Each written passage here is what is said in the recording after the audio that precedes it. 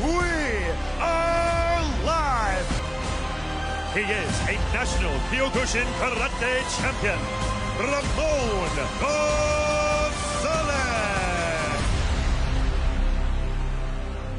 Mighty striking of Ramon Gonzales.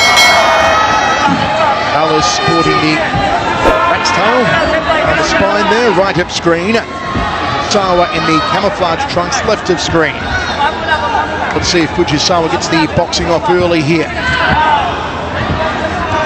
Traditional downfall of Kyokushin Karateka is that in Kyokushin competition they don't allow punches to the face. Boxing being a specialty of Fujisawa, maybe he can capitalise on that. Fujisawa started his one championship journey on the One Warrior series. He looked really good as he just uh, takes one big, big shot from Ramon Gonzales. Ramon Gonzales not airborne, even though Fujisawa said he was looking for that takedown. Here he goes. Now he's got him up against the cage. It's good to see Ramon Gonzales. He's got that whizzer on that right, right side of Fujisawa. So he's got to try to jack him up. He's got to try to lift him up above his hips because this is what's going to happen. Fujisawa's going to try to take that leg, turn the corner, and put him down on the mat. Bicolano trying for a guillotine, back up onto the feet here. Support behind him. He has it. from the ball of Arena. Fujisawa in trouble, and Gonzales puts it to sleep. Ramon Gonzales snatched up that guillotine and gets another submission win.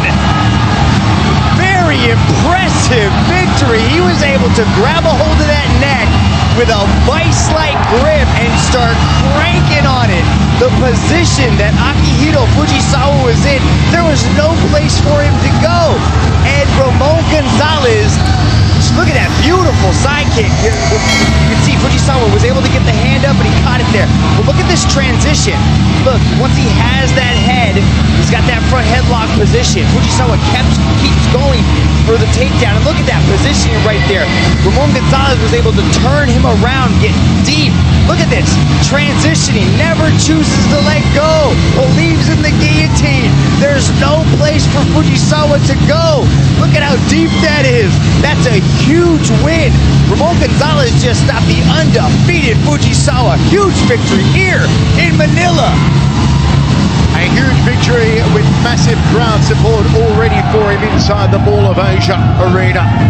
Let's go to Tom Lau to make it all official.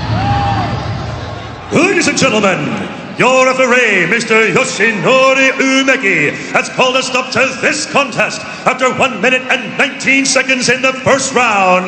For your winner, by way of guillotine choke, Ramon.